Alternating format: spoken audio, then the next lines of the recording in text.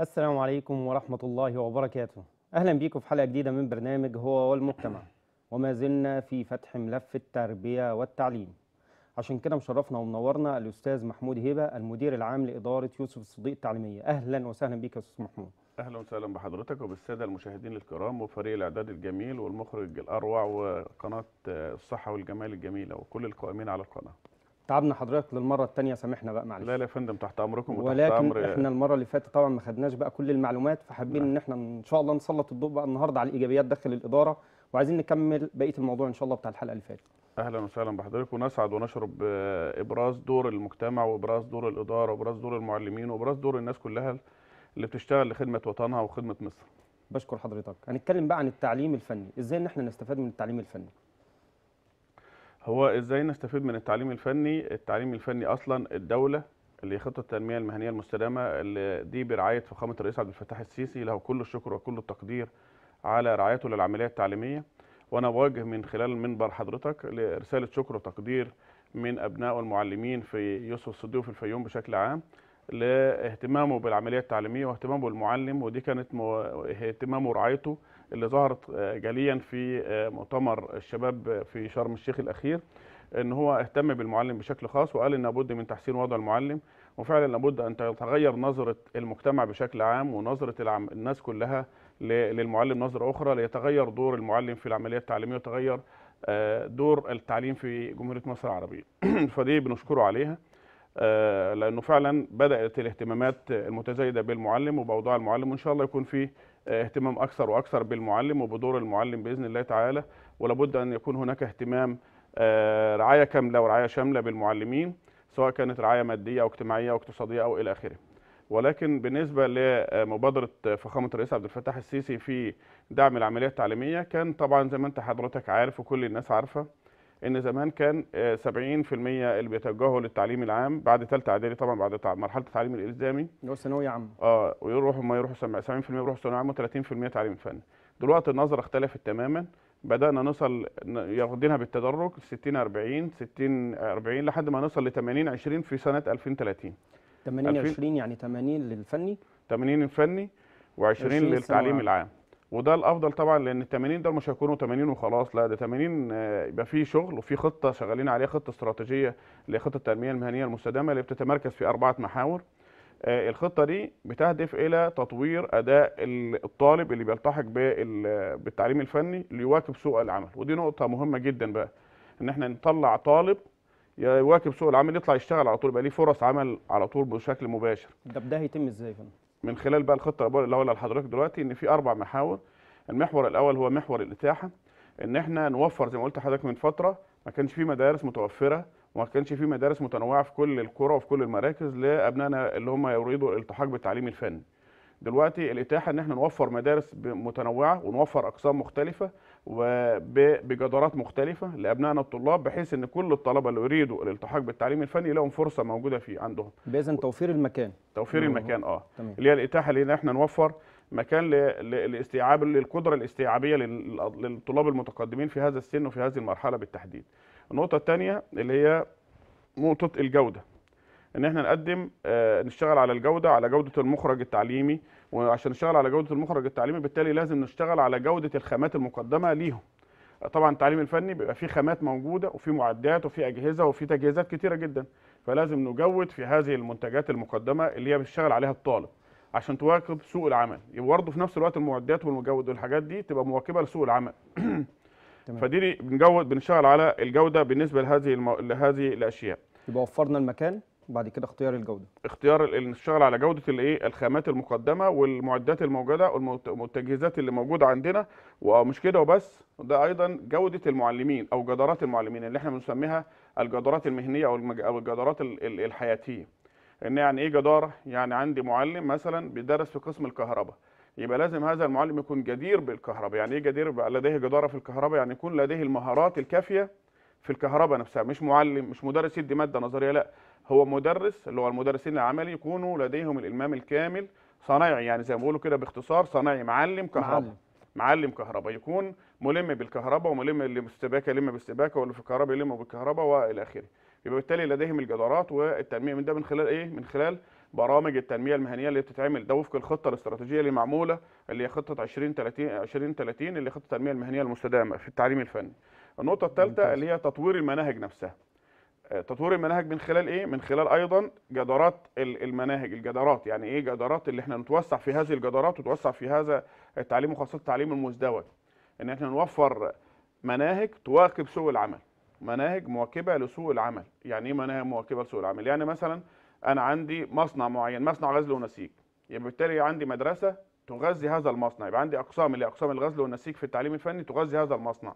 يبقى الطالب لما يتدرب ياخد الجانب النظري والمعلم اللي لديه الجدارات المهنية والجدارات الحرفيه الحرفية عنده والمهارات اللي عنده ينقلها لهذا الطالب بحرفية وبمهنية وبخبرات حياتية موجودة على أرض الواقع وربطه بالمصنع وهو بياخد النظر وبيروح يتدرب في المصنع يبقوا مرتبطين مع بعض. لما يطلع يتخرج يلاقي الشغل بتاعه موجود على طول متوفر على طول في المصنع اللي عندي. يعني اذا هنربط التعليم بسوق العمل. ده ده ده المحور الأخير بقى. إن أنا كل الشغل اللي أنا بعمله ده إن أنا أربط التعليم الفني بسوق العمل. ده ده باختصار. ال- الأكثر أهمية إن إحنا عندنا بالفعل في حاجات في التربيه والتعليم ممكن نستفيد منها داخل المنظومة التعليمية. يعني مثلا أنا عندي حاجة اسمها اللامركزيه بتصرف قبل الدراسة ما تبدأ بشهرين ثلاثة مبلغ اللامركزيه ده لو يقوم به التعليم الفني ياخدوا التعليم الفني من خلال خطة معروفة ومدروسة وفق رقابة ورقابات رقابة عليها إدارية ورقابة مالية والى آخره من خلال التوجيه المالي والإداري والمتابعة عليها. الناس اللي هم في التعليم في مدارس التعليم الفني اللي زي مثلا مدرسة الصنايع مدرسة الصنايع فيها قسم الكهرباء والنجارة والسباكة والحدادة فيها أقسام مختلفة. هذه الأقسام المختلفة لو تروح هي الطلاب دي اللي هم بيبقى في أصلا في أحيانا في بعض المدارس وفي بعض القرى في عزوف من هؤلاء من هؤلاء الطلاب اللي هم طلاب التعليم الفني دول عزوف عن المدارس. عزوف عن المدارس ليه؟ ما بيروحوش ما المدارس. بيروحوش المدارس يعني لأن غالبا بعض أولياء الأمور بياخدوا الطلبة دول ياخدوهم يقدموهم في التعليم الفني أو اسمه دخل مدرسة ياخد بس يروح يشتغل بره. ودي دي نقطة بتجعلنا إن إحنا ندخل في موضوع تاني منحى تاني اللي هو موضوع التسرب ودي دي بالفعل بدأ يهتم فيه الدكتور أكرم حسن وكيل الوزارة الحالي اللي أنا بوجه له كل الشكر والتقدير على فكر الكبير. وبدأ يهتم بأربع خمس ملفات مهمين جدا فعلا كنا إحنا ناسينهم. آه، دكتور أكرم وكيل وكيل. أكرم حسن وكيل آه. وزارة التربية والتعليم بالفيوم. تمام. شخصية محترمة وشخصية ممتازة جدا. عنده فكر كبير بيشتغل على محاور مختلفة محور الجودة وده محور مهم جدا.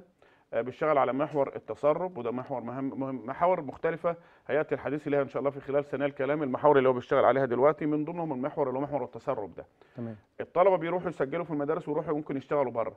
طب أنا ليه ما أنا أجيبه وأوفر له وأوفر له الشغل وفي نفس الوقت أربطه بالواقع؟ يعني بتاع قسم الكهرباء ما يروح يعمل الكهرباء اللي في المدارس اللي عندي.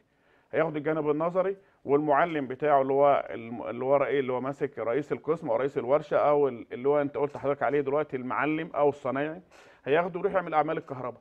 منا إن إحنا نوفر لهذا الطالب دخل آه، طبعا لازم يتعمل لها لوائح وقوانين بس أنا بصيغ فكرة ونقطة معينة يعني ودي بالفعل أنا عملتها على فكرة يعني. أنا كنت سابقا مدير عام إدارة يوسف مدير عام إدارة السنورس التعليمية وكان عندي جنبية مدرسة الصنايع وعملت بالف- بالفعل الفكرة دي. خدت 45 طالب من مدرسة الصنايع ومعاهم 15 معلم من المعلمين المحترمين اللي مخلصين للبلد ومخلصين لوطنهم وعايزين يعلموا اولادهم فعلا لهم كل الشكر من خلال حضرتك بشكرهم وبشكر آه، مدير المدرسة آنذاك الأستاذ حمدي وكيل المدرسة الأستاذ شوقي وكان مدير التعليم الفني الاستاذ محمد من برنامج هو. المجتمع نعم. وبشكر كل القائمين على منظومة التعليم الفني بالفيوم وحاليا كان سابقا الاستاذ محمد حاليا الاستاذ طه البنا له كل التحية وكل التقدير. آه، خدنا الناس دي وطلعنا رحنا المدرسة اللي فيها صيانة كانت تكلف 49000 جنيه الصيانات اللي موجوده فيها. تخيل عملناها إحنا وفرنا العمالة لأن جزء كبير جدا من المبالغ اللي بتهدر بسبب إيه؟ بسبب العمالة اللي بتشتغل لأن ال- ال- ال- ال- الأجرة مرتفعة جدا وتضيف لها ال 14% اللي لابد ان تضاف للصنايع والحاجات اللي إحنا بنشتريها. فالناس راحوا صيانوا المدرسة دي اللي كانت تكلف 49000 جنيه لم تتجاوز تكلفتها 9000 جنيه. واعطينا لكل طالب في هذا الوقت خمسة- 25 جنيه ووجبة غدا. الطالب أنا أنا ما همنيش ده كله بس همني نقطة كانت جت في النهاية. إحنا استفدنا من الطالب وفي نفس الوقت استفدنا إن هو طبقنا عملي. هو- ووفرنا فلوس. وفي نفس الوقت في توفير كمان. وفي توفير. خد بقى النقطة الأكثر أهمية ودي المهمه المهمة بقى اللي هي الجدارات اللي إحنا بنتكلم عنها اللي الولد على لديه المهارة إنه يشتغل. خلاص بعد هو ما اشتغل بإيديه بقى. آه بعد ما خلصنا اليوم قال لي أنا بشكر حضرتك يا أستاذ قلت له ليه؟ قال أنا امبارح كنت بشتغل ب 50 جنيه لأن أنا كنت زي ما بيقولوا كده صبي. بكرة هشتغل أطلب منه 100 جنيه. قال لي ليه؟ قال لي لأن أنا النهارده بقت في عندي الثقة اللازمة إن أنا أشتغل بإيدي. بدأ يشتغل بإيده بدأ يبقى كهربائي بنفسه بدأ يسباك بنفسه فبدأ عنده المهارات الكافية وبدأ يحس بالإيه؟ بثقة في نفسه. يبقى اذا اللي هو خريج قسم كهرباء ممكن نستفاد بيه. طبعا. تمام؟ آه، نجارة نقاشة كل ده إحنا بنحتاجه في المدارس وغالبا يعني في بداية العام الدراسي. إحنا بدل. ما إحنا بنعمل خطة ونشوف مصروفات قد إيه ممكن إن إحنا نستفاد من الطلبه طبعا، صح كده؟ ده. المختصر بتاع ده- المبادرة ده بتاع حضرتك المختصر آه. تمام يا فندم. وده هنا كده إحنا بنربط آه، التعليم الفني مش بس بسوق العمل اللي بره ده بمدارسنا نفسها. يبقى مرتبط بالمدرسة بالحضور بالانصراف وهنا كده هنخليه يح- يحضر ويشارك معانا.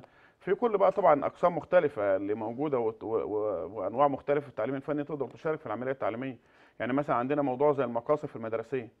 المقاصف المدرسية ما تديره المدارس الفندقية هتوفر له وفر له أكل مناسب وجبة مناسبة بأسعار مخفضة حاجات كتيرة جدا ممكن نستفيد منها. لازم بقى بيكون في دور لمجلس المدينة والقائمين عليه. إيه الدور أنا بصراحة في دور مجلس المدينة أنا سواء السابق برضه كان في سنوس الأستاذ محمود هاشم وحاليا العمدة بيسموه العمدة هو راجل شيخ عرب راجل محترم جدا ومتعاون لأبعد مما تتخيل الحاج كمال سلومة.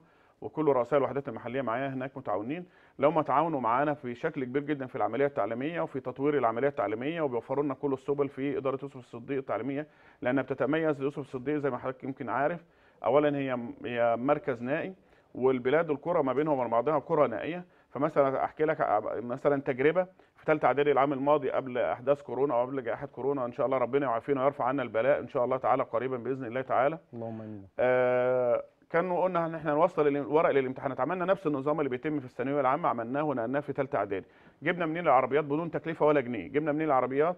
السيد رئيس مجلس المدينة عطى تعليمات مباشرة للساده ورؤساء الوحدات المحلية. جبنا العربيات بتاع الساده ورؤساء الوحدات المحلية. لهم كل الشكر والتقدير. نقلنا الامتحانات. وكنا ده هيتم لأن إحنا برضو عاملين السنة دي كنا عاملين برضو السنة دي مطبعة سرية. طبعنا كل الامتحانات لأن في ظل هذه الأحداث أحداث ندخل في موضوع المطبعة السرية دوت بس معانا على الهاتف المحاسب كمال سلومة رئيس مجلس ومدينة يوسف الصديق بمحافظة الفيوم. أهلا وسهلا بحضرتك. ألو؟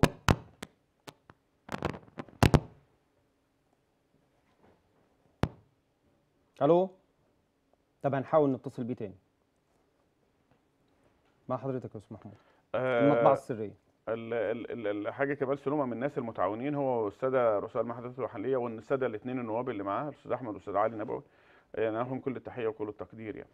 آه، المطبعة السرية إحنا عاملين السنة دي طبعا أحداث كورونا دي خلت أولياء الأمور في عزوف عن دفع المصروفات فبالتالي خامات الامتحانات مش موجودة كلها لأن خامات الامتحانات بتطلع من خلال دفع المصروفات فإحنا لقينا إن هيبقى في عبء مادي وعبء معنوي واجتماعي على السادة مديري المدارس وإحنا طبعا بنمنع منعا باتا إن إحنا نجمع أي مبالغ تحت أي مسمى وتحت أي بند مرفوض رفضا تاما من أي ولي أمر ومن أي طالب فبالتالي عملنا مطبعة سرية من خلال الإدارة مباشرة ومن خلال دعم دعم مؤسسات التعليق المجتمع المدني والمشاركة المجتمعية عملنا. المطبعة دي بحيث إن إحنا نطبع جميع امتحانات داخل المطبعة السرية طب إيه اللي كان. بيتم قبل إصدار طبعا القرار بالمطبعة اللي قبل كده كان بيتم الامتحانات يقوم بقى كل مدرسة تطبعها على نفسها على في المدارس يعني. في مكتبة أو ولا داخل المدرسة؟ في المدرسة المفترض إن هو المدير المدرسة بياخد الامتحانات من الموجه الأول ياخد الامتحانات في ظرف مغلق يصرف ويشتغل في الكنترول عنده المفروض ما يطلعش من المدرسة.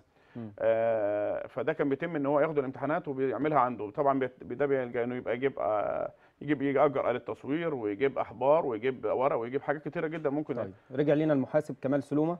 أهلا وسهلا بحضرتك. ألو؟ ألو؟ ألو؟ أيوه السلام عليكم. عليكم السلام ورحمة الله وبركاته. حاج كمال إزاي حضرتك؟ الله يخليك يا فندم. أخبار حضرتك إيه يا فندم؟ الحمد لله. مشرفنا ومنورنا ببرنامج هو المجتمع يا فندم. الله يخليك يا فندم. طبعا فرصة وحضرتك معانا إن إحنا نتكلم عن مركز ومدينة يوسف الصديق. عايزين نشوف أكتر الإنجازات اللي تمت في 2020 يا فندم.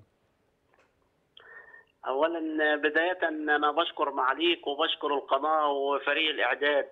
ربنا يبارك ويعني أحب أقول قبل ما أقول الانجازات بتاع 2020 أنا عايز أقول إن إحنا مرينا بظروف يعني بعتبرها إنها جائحتين في شهر ثلاثة إن أنا تعرضنا في محافظة الفيوم مع بعض المحافظات لسيول آه، كبيرة قوي و12 3 بالتحديد ما ننساش ثلاث أيام كانت مطر متواصل واسفر عنا عن إن المصرف الوادي عندنا ما استوعبش المية وعمل خسائر في قرية النزلة وقرية صعيدة في كحك. ودول طبعا أنا بنتهز الفرصة إن كانت ده كان امتحان كبير للقيادات القيادة التنفيذية والشعبية وشباب يوسف الصديق. وبوجه الشكر لمعالي الدكتور محافظ الفيوم اللي بعتبره يعني إن هو ربان سفينة التنمية. في المحافظه على المجهود اللي هو قام بيه ووجه وقدرنا إن إحنا نسيطر على ال- ال- السيول دي دي وعلى الناس اللي هي بالاشتراك طبعا مع الهلال الأحمر ومع التموين والصحة والبيئة والمسطحات ويعني والد- وال- وال- والدفاع المدني.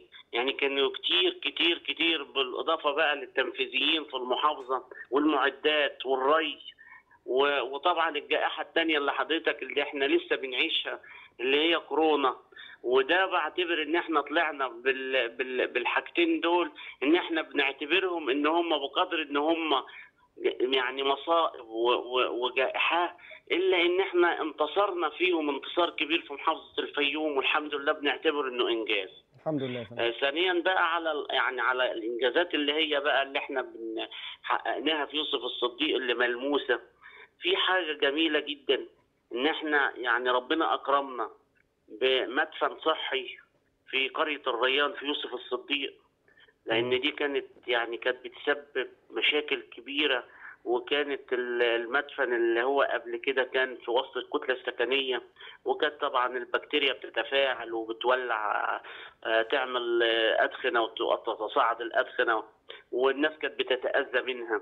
ربنا أكرمنا فعلا بفضل ربنا طاب توجيهات معالي المحافظ. إن إحنا عملنا مدفن صحي كبير وعملنا محطة وسيطة كمان إن إحنا بن بنستخدمها في إن إحنا نبقى وسيطة بننقل فيها القمامة وبنحولها للمدفن الصحي. إنجاز كبير في يوسف الصديق.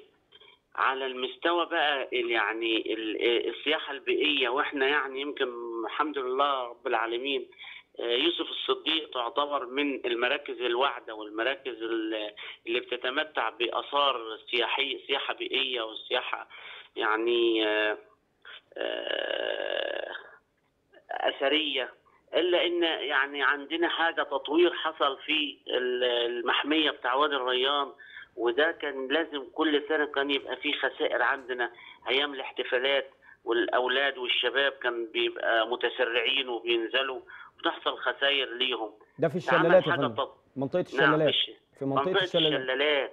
آه اتعمل فيها تطوير واتعمل فيها كباري مشاه كده جميلة وبتعدي من فوق ال- الهضارات ومنظر جميل منظر سياحة بيئية عظيمة عظيمة عظيمة.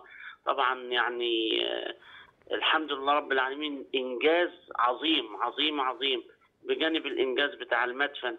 بجانب بقى حضرتك إن إحنا يمكن عايز أقول لك اشتغلنا على ال- قانون يعني 144 اللي هو بتاع تقنين الأراضي أملاك الدولة. اشتغلنا على المصالحات قانون مصالحات 17 لسنة 19 يعني يعني حسينا فعلا وساعدنا الناس كتير في بعض إنه يتغلب على المشاكل بتاعته. آه، خاصة بقى طبعا مش يعني هنقول هنقول لحضرتك طبعا إنه بجانب بجانب التشجير بجانب ال- ال- الإنارة بجانب تفعيل الخطة الاستثمارية اللي هي مبنية على جوانب كتيرة. طيب بالنسبة منها بالنسبة للمبادرة الخاصة بتطوير القرى إحنا عرفنا إن قرى يوسف الصديق استحوذت على مبلغ كبير طبعا بالنسبة للتطوير. ده هيتم في إيه يا فندم؟ إن شاء الله بإذن الله ده كان ختام مسك ال 2020 في مبادرة آه، حياة كريمة توجيهات الرئاسية لفخامة الرئيس إنه إحنا و- ويوسف الصديق من ضمن التطوير بتاع القرى. آه، دخلت الحمد لله كلها يمكن المركز كله دخل تطوير ودخل على المراحل يعني جميع خدمات اللي موجودة. هتستكمل في يوسف الصديق من. صرف صحي لمية لكهرباء لطرق لرفع مستوى آه، مباني موجودة يعني إحلال وتجديد أو رفع كفاءة. يعني بنشتغل على الموضوع ده إن إحنا النهارده في فريق عمل كبير بيعمل آه، إعداد لخطة ليوسف الصديق. إن شاء الله بإذن الله إن شاء الله. هتثمر بإذن الله بثمارها الطيب. المحاسب كمال سلومة رئيس مجلس ومدينة يوسف الصديق بمحافظة الفيوم. شكرا شكرا جزيلا لحضرتك يا فندم. شكرا. أستاذ محمود. اتفضل يا باشا. طبعا الحاج كمال من الناس ال- القيادات طبعا المشهود ليهم في كل مكان يعني. تمام. شخصية محترمة بكل ما تعنيه الكلام المعنى يعني وراجل قيادي طيب هندخل. بقى على الانجازات بقى داخل مركز ومدينة يوسف الصديق بالنسبة طبعا للتعليم بقى. تمام. هو بالنسبة للإنجازات لما نيجي نتكلم عن إنجازات يبقى لازم يكون فيه محاور بتو- توصلنا لهذه الإنجازات. أول حاجة لازم يكون فيه آه، خط- خطة. قبل الخطة دي يبقى فيه فريق بنشتغل عليه. الفريق ده بيقود هذا الفريق القائد اللي موجود فعلا ميداني مش مكتبي. زي ما اتفضل الحاج كمال سلوم من شوية. آه، دكتور أحمد الأنصاري محافظ الفيوم ونائب المحافظ دكتور محمد عماد وكل القائمين على محافظه الفيوم. آه، بيدعموا العملية التعليمية بشكل خاص وده يعني هو راجل دكتور ودكتور فعلا اسم ولقب يعني. فهو فاهم يعني إيه عملية تعليمية وفاهم يعني إيه دور العملية التعليمية في تنمية المجتمع ودورها في المجتمع وإلى آخره. وهو لحقنا بال- بالمجتمع بشكل بشكل كامل في العديد من المبادرات. فله كل التحية وكل الشكر والتقدير لأنه فعلا راعي العملية التعليمية بمعنى الكلمة على أرض الواقع في الفيوم. الدكتور أحمد الأنصاري محافظ الفيوم له كل الشكر والتقدير. أيضا آه، المديرية بكل من فيها على رأسهم طبعا آه، الأستاذ الدكتور آه، أكرم حسن وكيل الوزاره الحالي صاحب الفكر والرؤية الواعدة الصاعدة إن شاء الله تعالى التي ستنهض بمحافظة الفيوم. ومن قبل طبعا الاستاذ محمد عبد الله تمنياتي له بالشفاء العاجل وعودته لنا إن شاء الله بإذن الله تعالى. ربنا يشفيه ويعافيه ويعود لنا مرة أخرى إن شاء الله تعالى. إن شاء وكل الله. القائمين على العملية التعليمية. وبرضه بشكر آه، دكتور عادل عبد المنعم الوكيل الصا الأسبق لمحافظة الفيوم لأنه حطنا على ال track يعني. في فرق كتيرة جدا بتشتغل ونقعد نتكلم عن الشكر والتقدير. هنحتاج آه، يعني حلقات عشان نقول الشكر والدول على رأسهم. طبعا فرق العمل اللي شغالة في الإدارة. من أول العامل اللي في الإدارة لحد وكيل الإدارة. كل الناس بتشتغل بصراحة ولها دورها البارز ودورها المك... اللي في في في تحقيق هذه الإنجازات على أرض الواقع. لأن إحنا بصراحة سواء معلمين أو عمال أو إداريين أو معلمين أو مدير مدارس أو الموجهين أو رؤساء الأقسام مدير المراحل الناس اللي في الإدارة دول كلهم والأقسام المعاونة كلها حسابات إلى آخره كل دول بيعينوا على إنجاح على إنجاح الخطة اللي أنت راسمها. في خطة استراتيجية موجودة إحنا ماشيين وفق ماشيين وفق رؤية الوزارة اللي بيقودها الدكتور طارق شوقي رؤية الوزارة 2030 ورؤية واعدة وصاعده أيضا. وفقين وماشيين بال- بالخطة اللي بتجينا من المديرية. ممكن نطور ونبدع فيها شوية عشان وفق وفق ال- ال- المقتضيات اللي عندنا لأن إحنا عندنا الواقع مختلف عن أي واقع آخر. هو ده بقى اللي إحنا هنتكلم عليه. هو ده. الإبداع بقى. نعم. إن إحنا حضرتك أنت قدامك قرار تمام. ومدير إدارة تاني قدامه قرار. إزاي إن أنت بتتعامل معاه وإزاي حد تاني بيتعامل معاه؟ هو ده بقى اللي إحنا بنشتغل. عندنا خطوط عريضة في خطة استراتيجية عريضة ما هو شغالين عليها وأنا عامل خطة استراتيجية للإدارة وتطوير الإدارة. من أول ما رحنا على فكرة الإدارة أنا رحت الإدارة لقيت الإدارة في أوضتين كده ما ينفعش يبقى فيهم لا طليق بإدارة طبعا. غيرنا الكلام ده ونقلناهم لجناحين والى اخره وخدنا الموافقات اللازمة. وكان ده أيضا بفضل ودعم مجلس مجالس الأمناء مجلس الأمناء في الإدارة ومجالس الأمناء في المدارس. وأيضا نقابة المعلمين اللي لها دور كبير جدا الحاج علي الجرحي نقيب المعلمين بالفيوم الحاج عيسى عثمان أمين عام النقابة والأستاذ ناصر حد أمين الصندوق في النقابة. كل الناس اللي بتتعاون وأيضا اللجنه النقابيه الشواي بشواي الناس اللي بتتعاون معانا دي لازم إن إحنا يبقى في تعاون كبير جدا مع مؤسسات المجتمع المدني ومع الناس اللي بره ومع السادة النواب أيضا. لهم دور كبير جدا معانا في إن إحنا نصل لهذا الدرجة. نقلنا الإدارة من مكان لمكان بدأنا في مكانة الإدارة بشكل عام. بس في آه، نفس المنطقة في يوسف الصديق. في نفس المنطقة ما إحنا ما نقدرش نروح مكان تاني. إحنا نقلنا آه. بس من مكان لمكان. عندي مكان كان موجود من فترة طويلة جدا لم يستخدم فنقلنا الإدارة فيه وبدأنا نشتغل على مكان الشؤون الطلبه يعني إحنا مثلا كان ولي الأمر عشان يروح ياخد بيان نجاح لابنه كان يقعد له 15 يوم عشان ياخد بيان النجاح. ده الكلام ده من أول أسبوع أنا رحت فيه الإدارة. وكان يركب مواصلات طبعا أنت يمكن مش عارف المكان كويس عشان يروح المكان عشان يروح الإدارة المبنى مكان الإدارة ده ياخد ياخد توك توك ياخد له 150 جنيه يروح له مرتين ثلاثة ف... فللأسف الشديد بيتكلف كتير جدا. مكاننا حضرتك- لشؤون الطلبة حضرتك سلطت الضوء على مجلس الأمناء ودوره؟ تمام. كده عشان كده معانا على الهاتف الحاج عيسى عثمان أمين عام نقابة المعلمين بمحافظة الفيوم. أهلا وسهلا نجم بحضرتك أحد نجوم الفيوم ده شيخ العرب الاصلي حاج؟ عيسى. أيوه السلام عليكم. أيوه. عليكم السلام ورحمة الله وبركاته. أهلا وسهلا بحضرتك يا فندم. أهلا يا باشا. إحنا اللي سعداء بمكالمتك وبرنامجك وبنقدم ليك كل الشكر والتقدير تحت امرنا عليك. شرف لينا يا فندم شرف لينا يا فندم. أستاذ محمود كان بيذكر طبعا دور. الأمناء يا فندم. حابين بقى إن إحنا بقى نعرفه من حضرتك بقى. آه، تحت امرنا عليك يا فندم. ربنا يبارك في حضرتك. الله يخليك. طبعا آه، عيسى محمود سيد عثمان أمين عام نقابة المعلمين بالفيوم ورئيس آه، مجلس أمناء إدارة غرب الفيوم التعليميه وعضو مجلس أمناء المحافظة. أهلا وسهلا آه، أهلا بمعاليك يا ريس. اولا آه، بنقدم لمعاليك كل الشكر والتقدير وبنقدم لمعاليك كل التهنئة ببداية السنة الجديدة ونتمنى ليك كل التوفيق والتقدير. أما بالنسبة لسؤال معاليك فأنت طبعا آه، مجلس أمناء في محافظة الفيوم والنقابة بتقوم بدور فعال مع الإدارات التعليمية آه، في آه، أزمة كورونا الحالية وال- آه، والسابقة.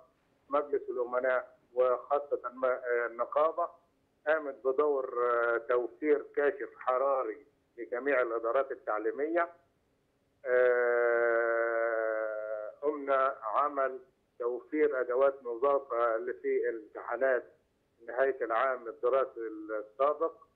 آه، كل آه، مجلس الأمناء بيشارك في حل المشاكل اللي بيعاني منها بعض الطلبة في المدارس سواء في آه، عجز المدرسين سواء في المشاكل بين آه، الطلبة وهيئات التدريس. آه، وطبعا ب- بخص ال- يعني البرنامج النهارده إن أنا بشكر الأستاذ محمود ضيفكم الكريم مدير إدارة يوسف الصديق على المجهود اللي قايم بيه وإحنا كمجلس أمناء بنحيي آه، جميع مديرين الإدارات على المجهود المبذول منهم. وبالنسبة لمجلس الأمناء بيشارك في جميع حل المشاكل اللي بتعاني منها كل إدارة آه، ايدنا دايما مع مدير الإدارة متعاونين مع جميع الإدارات في حل المشاكل اللي آه، بتعاني منها الطلبة في أي مدرسة وخاصة نحن عندنا يوسف الصديق من المراكز النائية وبفضل ربنا ومجهودات مدير الإدارة الأستاذ محمود وهيئة التدريس ووكيل الإدارة قدروا إن هم يتغلبوا على جميع المشاكل اللي كانت بتعاني منها الإدارة. الحاج عيسى عثمان أمين عام نقابة المعلمين بمحافظة الفيوم شكرا شكرا جزيلا لحضرتك يا. تحت أمر معاليك يا فندم شكراً. وشاكرين لمعاليك على آه، ما تقومون به لخدمة الوطن وشكرا لكم وتحيا مصر تحيا مصر. شكرا لحضرتك يا حاج شكرا عيسى شكرا العفو يا معاليك.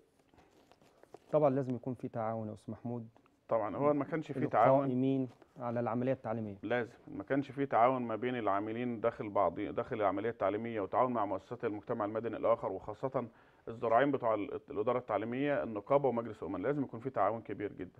نرجع لموضوع الدور ال- المحافظة ودور المديرية. إحنا يعني دخلنا المحافظ بصراحة في العديد من المبادرات اللي أنا بقول لك بنخدم على مؤسسات المجتمع المدني. وإحنا وظفنا مدارسنا ده كان بتوجيه معالي آه، الوزير محافظ الفيوم دكتور أحمد الأنصاري في من خلال مبادرة إيد واحدة إن إحنا نشتغل على موضوع في ظل احداث كورونا. بدل ما كان يبقى في تكدس من الناس تاخد مرتباتها ومعاشاتها وإلى آخره من مكاتب البريد حاولنا استخدمنا مدارسنا وكنا واقفين بأنفسنا موجودين بنفسنا بننظم وإلى آخره مع السادة مدير المدارس الرائعين والمعلمين المتعاونين معاهم كلهم كل لهم كل التحية وكل التقدير. في مثلا في قبض تكافل وكرامة في معاشات ال- أساتذتنا وأبهاتنا وأمهاتنا. أن ياخدوا المعاشات بوسيلة مريحة وبدون راعي الإجراءات الاحترازية لأن أهم حاجة في أحداث جائحة كورونا دي إن إحنا نراعي فيها الإجراءات الاحترازية من أول ارتداء الكمامه لحد التباعد الجسدي إلى آخره والتعقيم إلى آخره ده كان في معظم المدارس ولا ده كان مدارس؟ في المدارس اللي هي المجاورة ل آه، البريد. مكاتب البريد عشان ما يبقاش تكدس على مكتب البريد فاختاروا المدارس المجاورة مدرسة أو اثنين أو ثلاثة بقى يبقوا مجاورين على حسب العدد اللي بيصرف على. حسب العدد اللي بيصرفوا المعاش فكنا بنوجههم وطبعا نوفر لهم في الأفنية عندنا وفي فصولنا والمقاعد والم- اللي اللازمة ليهم ونوفر لهم الحماية اللازمة والاجراءات اللازمة والتعقيم اللازم. كنا بنقوم بدورنا واجبنا الوطني اللي إحنا شفناه وإحنا شايفينه على أرض الواقع من أو من الرئيس عبد الفتاح السيسي نفسه اللي بيقوم بدور واقع. وأنا بصراحة وأنا جاي النهارده يعني شفت مشاهد جميلة جدا في شبكة الطرق. دي إحنا بقينا شبكة عالمية. يعني أول يعني الواحد بصراحة جاي النهارده سعيد ومبسوط من اللي شايفه في التغييرات الكبيرة اللي موجودة على أرض الواقع دي. حاجة فعلا مذهلة. إذا كان الرئيس نفسه بيشتغل وبينزل على أرض الواقع من الفجر فإحنا ليه ما نشتغلش؟ فكلنا لازم نشتغل عشان نخدم على أهالينا وعشان نخدم على ولدنا على بلدنا ونخدم على وطننا. لأن مصر محتاجة مننا إن إحنا فعلا نتعاون ونشتغل معاهم بشكل جيد وبشكل كبير جدا. مصر دي آمنة مطمئنة بفضل الله سبحانه وتعالى وبحرصه وبعنايته يدخلوا مصر إن شاء الله آمنين. آه، مصر فيها خير اجناد الأرض. الخيرية في أجناد الأرض الا وهم أبناء القوات المسلحة وكل الجنود المخلصة. أي حد بيشتغل فهو جندي من جنود مصر الأبرار. نسأل الله سبحانه وتعالى أن يتم علينا جميعا وأن يعافينا من هذه الأحداث ونعفو الأمة العربية كلها والعالم كله من هذا الوباء آه، الذي يحيط بنا إن شاء الله تعالى. لابد أن يكون في تعاون كبير جدا من جميع مؤسسات المجتمع المدني. لابد أن يكون في تخطيط جيد في فرق فرق عمل بتشتغل فاهمه ومدركة لما تقوم به. هذه الفرق بقى اللي هي سواء كانت في المدارس أو في الإدارة أو أو إلى آخره هي وابنائنا الطلاب وتعاون كبير جدا من مجالس الأمناء وتعاون كبير جدا من أولياء الأمور لدرجة إن إحنا إحنا من الإدارات عندنا بعض العجز ولكن لم نشعر بهذا العجز خالص ابدا لا العام الماضي ولا السنة دي لأن في تعاون في إن إحنا نسد الكلام ده بالمشاركه المجتمعية من خلال السادة الموجهين من خلال الخدمة العامة حاجات كتيرة جدا. وصلنا بيها بقى إن إحنا تصدرنا المشهد في العديد من المسابقات خدنا فيها مراكز أولى الحمد لله تعالى. من أول ما رحنا كان آه، يعني إحنا كان عندنا حاجة مسابقة اسمها الأيسف. الطلاب اللي بيشاركوا في الأيسف دول بيحصلوا على مراكز أولى اللي بيحصل على مركز أولى وبيتصعد مشاريع المشروع بتاعه يتصعد.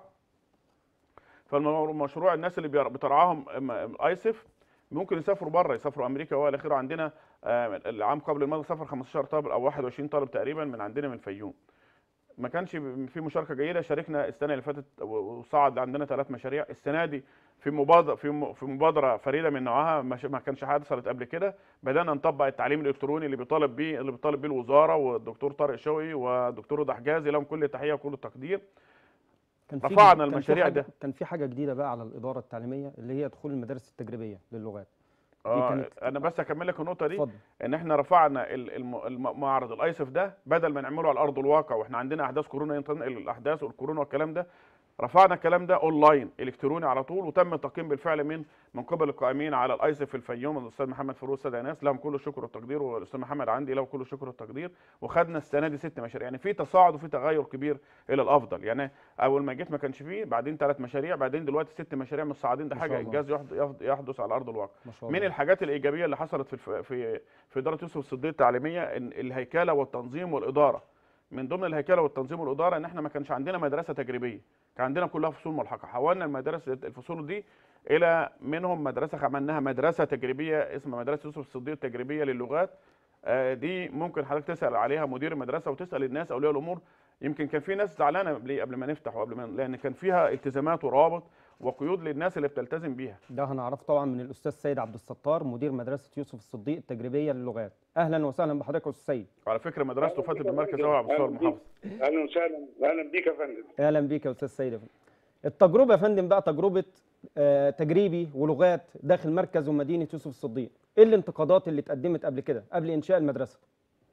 ورد الفعل طبعا بعد كده. آه، في البداية بسم الله الرحمن الرحيم آه، أنا بتوجه بالشكر لحضرتك أستاذ عمر وأسرة البرنامج المحترمة وذلك لاتاحه الفرصة لي لهذه المداخلة وأتوجه بخالص الشكر والتقدير لضيفك الخلوق المحترم الاستاذ محمود هيبة مدير عام الإدارة التعليمية بيوسف السديد التعليمية.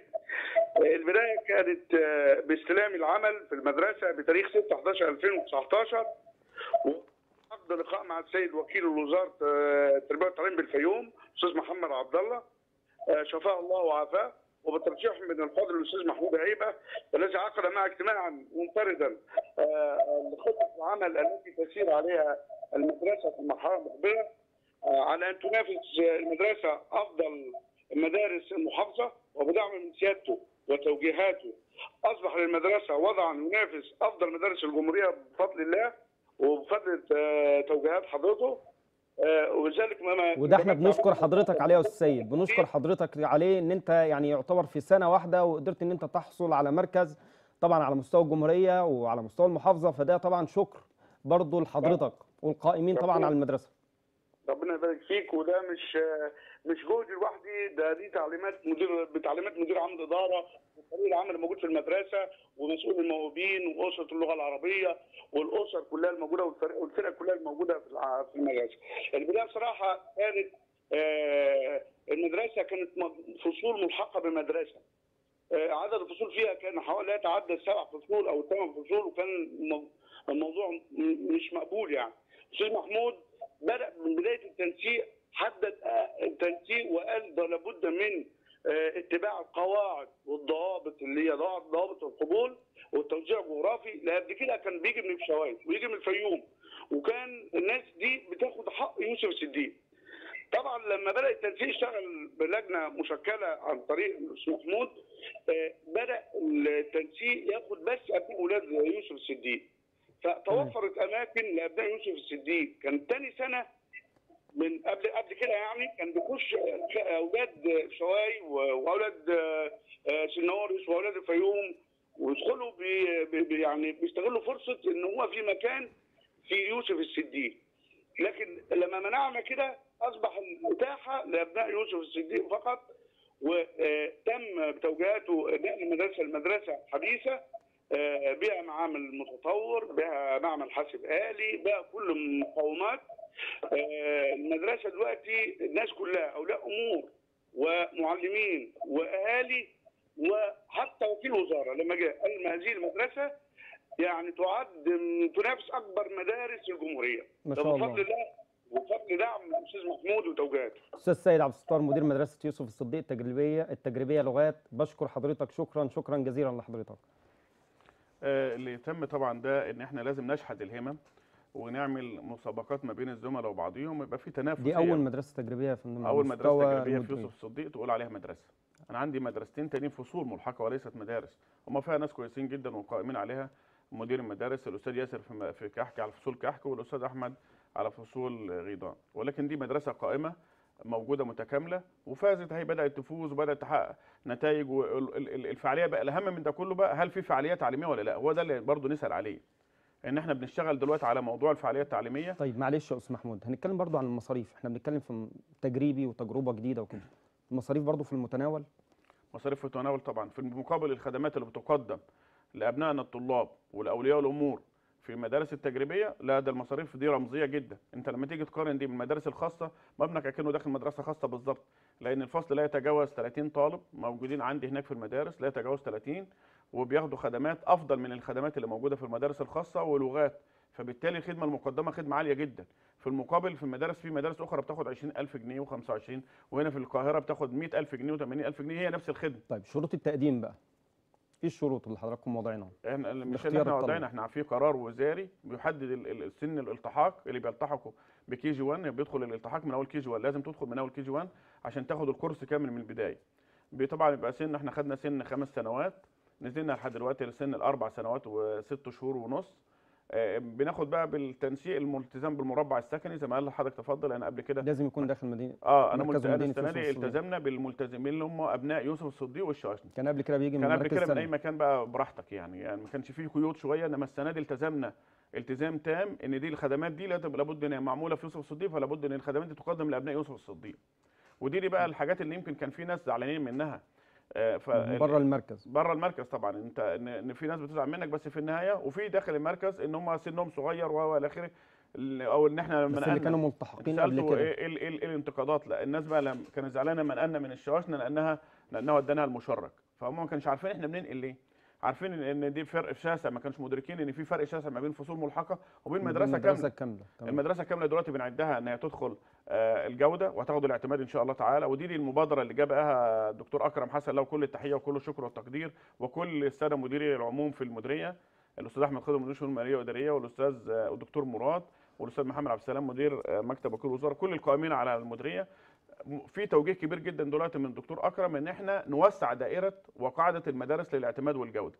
فكان عندنا مدرسة مدرستين السنة دي وسعنا القاعدة وهو كلفنا كمديرين إدارات بإن إحنا نشتغل على موضوع توسيع قاعدة الجودة دي. عندنا 26 مدرسة مرشحينهم للجودة من ضمنها المدرسة دي. فتخيل بقى في خلال أيام قليلة مش هنقول بقى شهور ده أيام من بداية العام الدراسي لحد دلوقتي ما لا يتعدى ثلاث شهور. خلال ثلاث شهور دلوقتي بتدخل مدرسة وصلتها من فصول ملحقة لا تذكر إلى مدرسة تعتمد. دي يبقى في فعالية تعليمية فيها. إن إحنا نهتم بالفعالية التعليمية ده ده, ده حاجة إنجاز يذكر يعني للجميع طبعا. فده إنجاز حقيقي يتحدث عنه الجميع.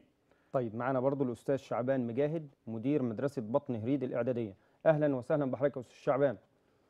السلام عليكم ورحمة الله وبركاته. الإعلام الصاعد وعليكم الواعد وبركاته. الجبيلي أهلا وسهلا بحضرتك يا فندم.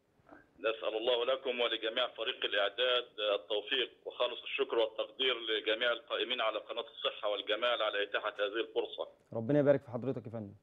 آه، وتحية خاصة لمعالي مدير عام إدارة يوسف السدية التعليمية حبيبي-. قائد العملية التعليمية بإدارة يوسف السدية بمحافظة الفيوم. حبيبي يا أستاذ شعبان النهارده شكراً بنتكلم. عن الإيجابيات يا يبارك شعبان. الإيجابيات داخل الإدارة. وطبعا حضرتك مدير مدرسة عايزين نتكلم بقى عن الإيجابيات. أنت حضرتك على أرض الواقع بقى. والله أنا من ساعة ما جه الأستاذ محمود هيبة الإدارة صراحة مدير متميز هو على تواصل مستمر مع مدير المدارس آه، لتذليل أي عقبات أو أي صعوبات في أي مدرسة كانت آه، وخاصة في هذه المرحلة الاستثنائية الطارئة والاتجاه العام طبعا للدولة تطوير العمل- العملية التعليمية والأمر طبعا بيحتاج إلى تعاون مثمر بين الجميع آه،. حيث أن التطوير طبعا هو مقصود بتطوير جميع جوانب العملية التعليمية وإن القيادة السياسية ماضية في ذلك فإن سيادة مدير عام الإدارة لم يألو جهدا ولم يدخر وقتا في ذلك. آه، من ناحية مثلا تشكيل لجان المتابعة المستمرة للمدارس آه، إجراء عمليتي التقويم والتقييم. التقويم اللي هو التعديل طبعا السلوكيات اللي محتاجة تعديل والمخالفات. فهو على الفور على طول بيقوم بأي سلوك محتاج تعديل ت- تطوير في أي وقت. بمتابعة مستمرة مع اللجان اللي هو مشكلها حضرته. تمام أما التقييم فهو دايما الاستاذ محمود آه، بيقيم السلوكيات الإيجابية وبيعززها من خلال تحفيزه وتشجيعه على هذه السلوكيات الإيجابية في مدارس إدارة التطبيق آه، المختلفة. كما إن برضه الأستاذ محمود آه، عنده المحاسبية عنوان النجاح. ودي طبعا يعني حاجة كويسة جدا لاحظتها في الأستاذ محمود إن هو دايما بيتابع باستمرار أي جوانب وبيتم طبعا تحفيز الجوانب الإيجابية وتشجيعها والجوانب الجوانب السلبية الأستاذ محمود دايما بيحاسبها وبيحاول إن هو يتلاشى أي سلوكيات مخالفة.